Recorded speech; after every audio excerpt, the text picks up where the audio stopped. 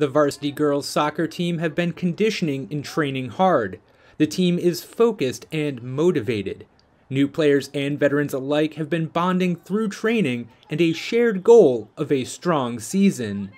We're breaking down um, positioning, uh, the basics with our skills, um, offense, defense, um, just kind of going through everything crash course, reviewing it for everyone, and then getting more um, into strategic plays, you know, to prepare. We always spend a lot of uh, focus at first on our, you know, our defensive positioning and, and stuff, and then um, so I have some really strong players that um, I've had for a few years that, um, you know, I've hold, held that position down.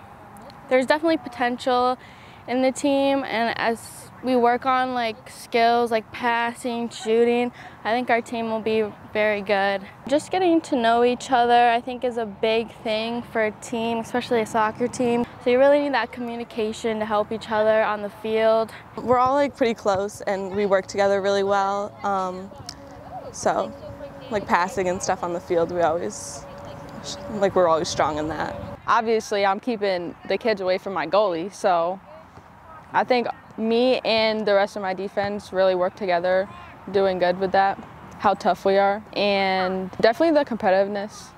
We work on individual goals and team goals each game um, throughout practice in the week. Um, and it's kind of like baby steps to see those successes and by the end of the season um, it's really nice um, to see all that growth.